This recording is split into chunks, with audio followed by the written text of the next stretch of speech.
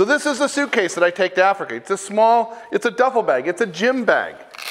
And one of the things I always do is I have a nylon strap that clips because everybody has a black, a blue, whatever gym bag. Mine's got the green strap so that I can see it. So we'll open up, right? And here's all my stuff inside. You can see I've still got some extra room in my bag. It's well under the 33 pound weight limit for going to Africa.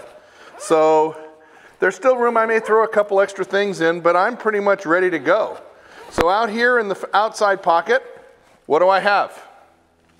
First of all, I've got, I am dressed like I go to Africa. So I've got a nice big floppy hat. You want a big hat to protect yourself from the sun. I've got an outdoor quality. This is a Columbia nylon 50 SPF fishing, camping, hiking shirt. I like this one and I've got some Columbia hiking pants. This is what I wear to Africa. I have my Merrell shoes. You don't need hiking boots and you certainly don't want to go in spiffy, fancy shoes because you're going to be stepping in elephant poop for God's sakes. So you want some nice, rugged, robust clothing. So this is how I dress. This is how I roll when I go to Africa. So the hat, I'll take the hat off. In my bag, I have one of the cool Creative Photo Academy beanies because it can be cold in the morning. And when you go to Africa, you need three pair of clothes. So I'm wearing a pair of socks, I've got two pair of socks. I've got two pair of underwear. I'm wearing one. And in the outside, I have a bandana. What do you use the bandana for? I use this as a towel. If it's dusty and windy, I can tie it around my face. But whenever I travel, I always have a bandana. I mean, the cowboys were right about a lot of things, and having a bandana with you is never wrong. Two underwears, two socks, a bandana. A raincoat. This is my raincoat. It's an REI compact travel raincoat. Very nice and small, folds up. This goes with me everywhere when I'm out photoing. It actually fits in my photo backpack, but here for Africa, it's gonna be in my suitcase. I have a pair of slippers.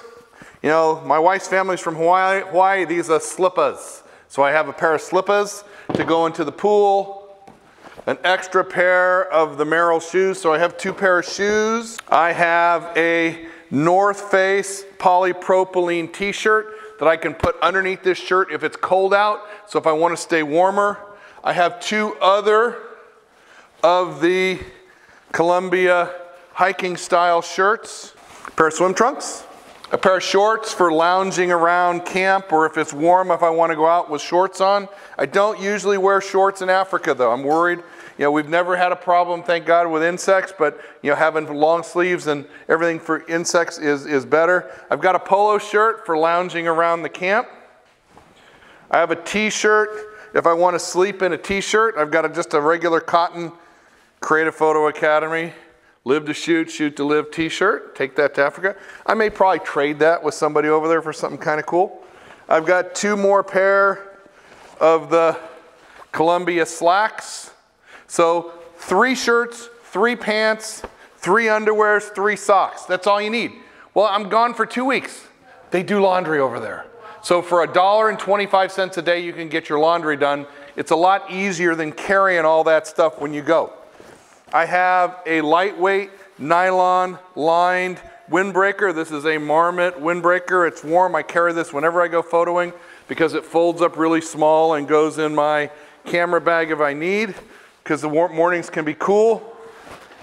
I have my toilet kit with vitamins, aspirin, insect repellent, sunscreen, prescription medications, toothbrush, toothpaste, all that stuff in a little Eagle Creek bag. I have a, the, that one's red, this one's blue. And this blue Eagle Creek bag has all of my camera, photo, accessory stuff in there that doesn't go in my camera bag. And I have a new device. This is the first time I'm taking this to Africa. This is pretty cool. I'm pretty excited about this. This is an Omni charger. Cool new device. This will charge your camera about 10 times off of the rechargeable battery that's built into it. It'll power your laptop for hours. It'll charge your phone about 15, 20 times. But there are nights in Africa where we don't have electricity. And I still want to be able to charge my camera batteries and I still want to be able to charge my laptop. So I'm going to take this with me. So this is what I take with me in my suitcase. So you have a weight restriction for Africa, 33 pounds. This bag, as I have it here, weighed about 22 pounds. So I still have more weight if I want. Um, but that's all you need to take. So ladies, you notice I didn't bring make, any makeup. I didn't bring a hair dryer. I'm gonna get a haircut. I'll have a nice crew cut before I go to Africa so my hair is really washed and wear. Um, you really gotta go simple. Simple, simple, simple. If you need some of that creature comfort, pack a little bit, but you don't really need it for Africa. You know, it's a wash and wear society. You know, you're out in the bush. Nobody cares what you look like. Nobody cares what you smell like because everything smells like animals there anyway. And we have a great time. It's absolutely amazing. If you get from here to 10 feet away from a lion or a giraffe or a hippo or a rhino or an elephant, it's the coolest thing you'll ever do in your entire life. I invite you to come out with us to Africa. Like I said, Kenya in August will be my eighth safari to Africa, and I would love to have you join me. We have a great time. You're always welcome. This is what I take, and when I go with the group, this is the size bag I take. This is exactly the bag I'll take in March when we're going to Tanzania, in August when we're going to Kenya.